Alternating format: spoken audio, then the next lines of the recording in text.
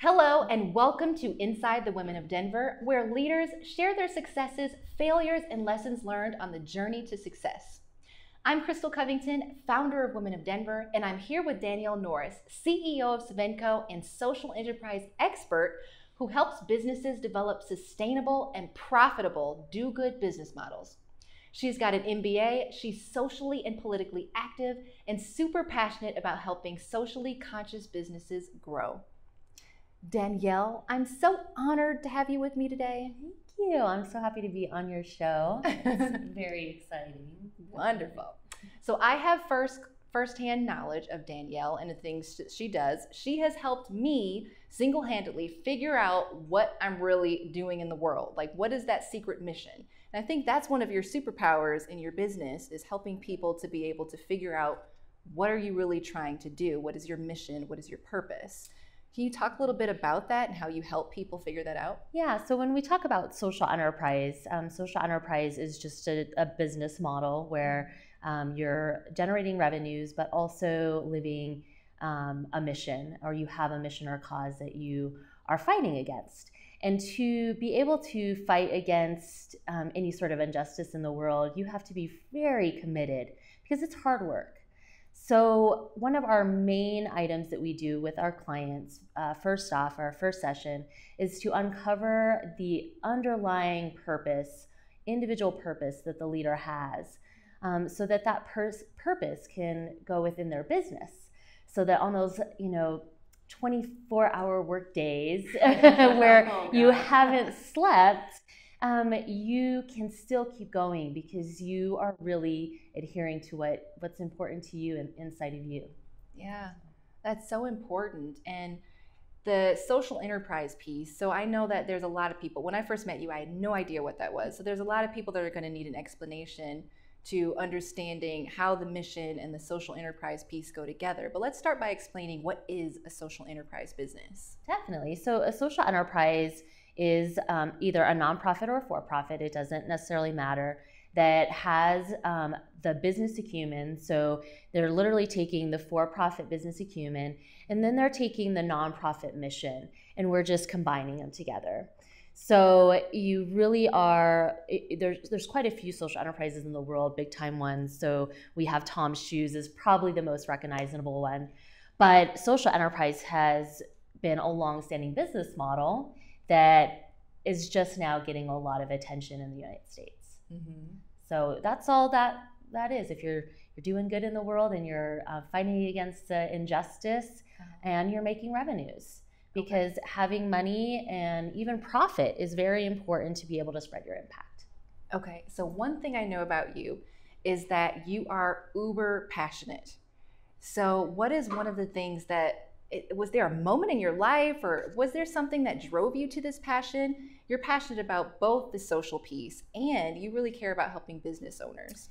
Definitely, definitely. Well, so just like we consult and we give um, advice to our clients, we have to hold true, and I have to hold true to what we do. So the purpose or me getting involved in social enterprise came from when I was younger. Um, when I was in my teens, uh, I was considered an at risk youth. And, and when I was 16, I was given a or assigned a caseworker. So I went into the system. And for the next 18 months, uh, that caseworker guided me through um, really guided me from you know poverty and being at risk to being sustainable and living on my own and really flourishing. Wow. And she was she was everything to me. And during that during that time um, after i got out of high school and graduated high school and you know became the 1% that made it uh, she actually lost her nonprofit. So the nonprofit went out of business. And it really hit me hard because i wanted other other youth to be able to experience that, and yeah. I couldn't. And um, that kind of that that led onto my adult life. I I've always been an entrepreneur. So um, at 24, I had uh, I owned a real estate, a residential real estate firm, and um, I made it about a year into the recession and had a big awakening in in just how business worked and how fragile it was and it doesn't matter how good you are if the market crashes you're going to be you're going to be going right along with oh. it um, so two important lessons i learned um, one on the nonprofit side that you know these nonprofits have the responsibility to resolve and fix these main issues of the yeah. world, but then they don't have any money to support it.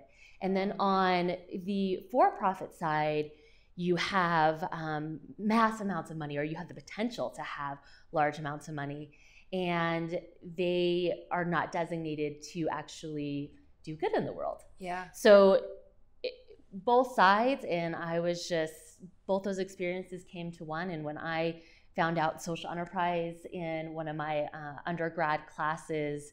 It's just always stuck with me. And it's just, I mean, truly the res- resolution of so many problems. Yeah. Um, on this balance of doing good and um, being sustainable.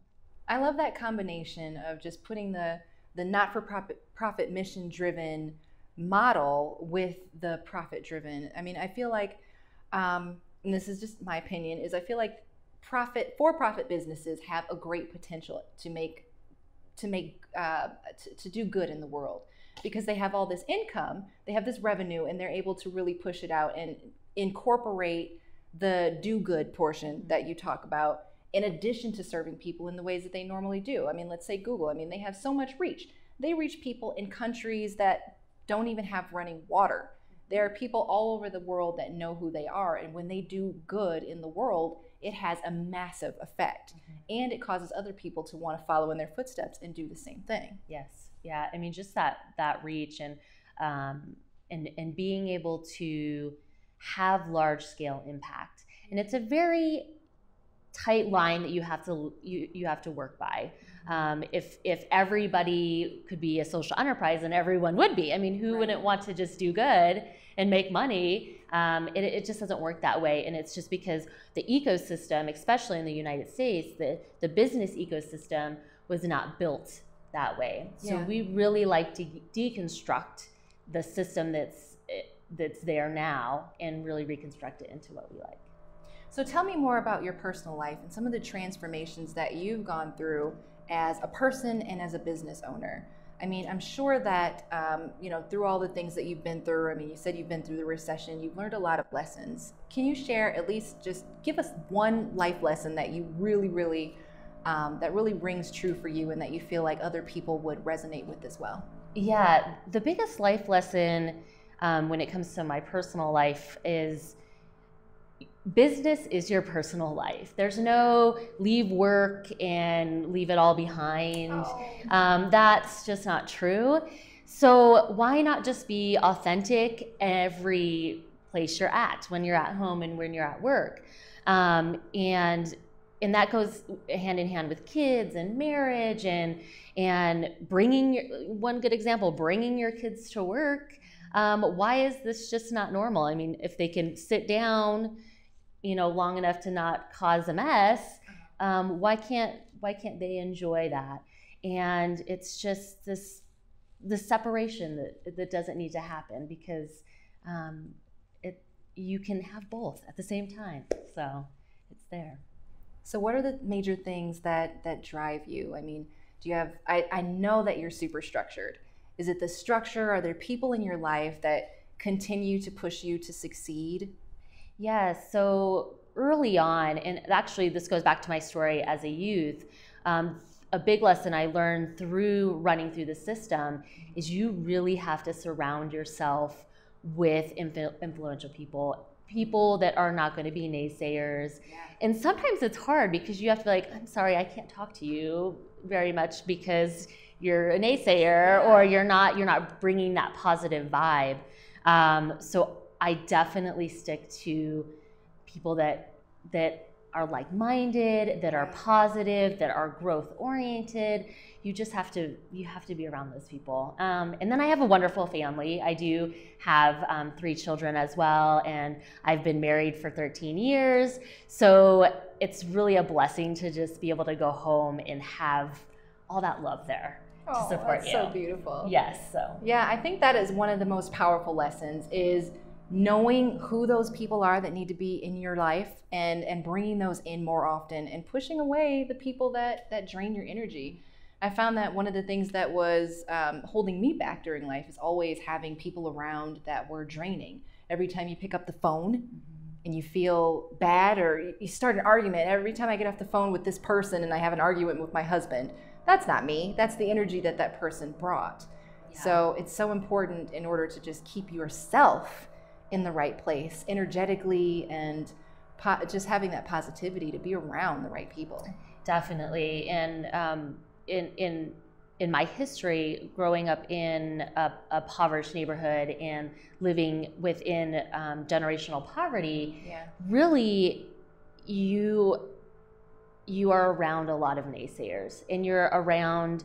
Um, it, it's just hard. It's hard to be in that in that area. So you have to be strong and be able to blossom and say, I'm sorry, I really love you, but I, I, I can't hang out as much with you. Yeah. So. That's so powerful. Definitely takes a lot of strength to be able to do that. Mm-hmm. So I admire that. Yes. Thank you.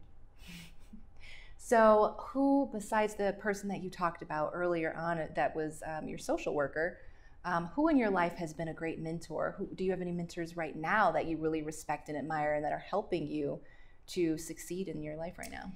Yes, I'm a huge advocate of having a mentor. Um, I, I, actually have more mentors than I can handle now.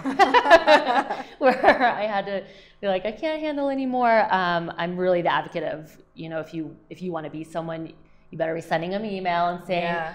I want to be you. Let's get together and chat about this. Um, recently, though, I've had some amazing mentors coming from the corporate world. So I did work in the corporate world for um, about eight, eight plus years, and um, and in taking those leaders and just you know being open and say, I really need you to to guide me. Um, and now with my company, we have a board of, of five, an advisory board of five, where they're really just my mentors. Wow. And I was just like, hey, you're my mentor. Would you like to be on my advisory board as well to guide us, you know, through our journey? That's so valuable. Mm-hmm. So, what are some of your favorite tips for business owners who want to really just go in there and start with a business model that is a social enterprise, that is a do good business? What are your favorite tips to, to share with them? Um, the biggest tips um, definitely make it stem from your purpose. So you have to understand what your purpose in life is, and everyone has one, and they have one overarching one.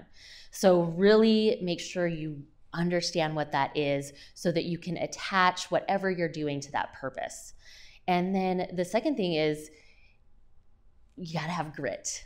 You have Ooh. got to be the last person standing. Yes. So I actually gave this conversation this morning because I'm I'm sick. So um, one of my, um, my, one of my founders was like, "Oh, you're sick. You stay home." I'm like, "That's not what successful people do. You got to be there if you're leading."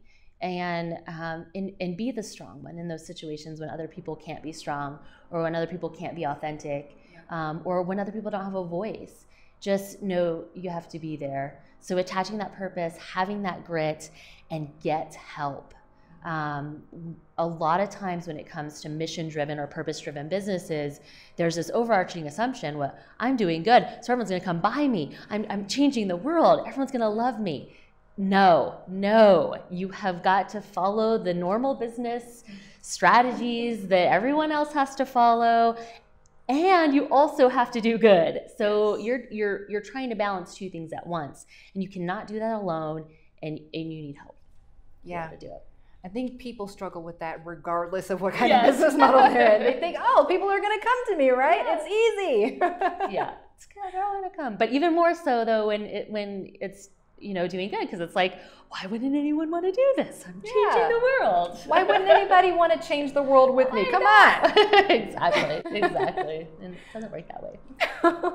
well, awesome. Is there anything else that you want to share before we uh, head out? Uh, the biggest part is if you're a business owner or a leader in an organization, realize that you t- you you're in that position to change things and you have the responsibility to make big changes, big positive changes, and don't let that go aside. You're responsible to do that if you're in that leadership position. So get out there and change the world and make a difference and go social enterprise. Woo! Awesome. All right. That was amazing. Well, thank you so much for spending time with me, Krystal Covington, and my amazing guest, Danielle. Ah! And check out Sovenco if you're interested in becoming a social enterprise with your business. Um, thank you for watching Inside the Women of Denver. Always remember that you deserve to be seen, heard, and known. I'll see you again next time.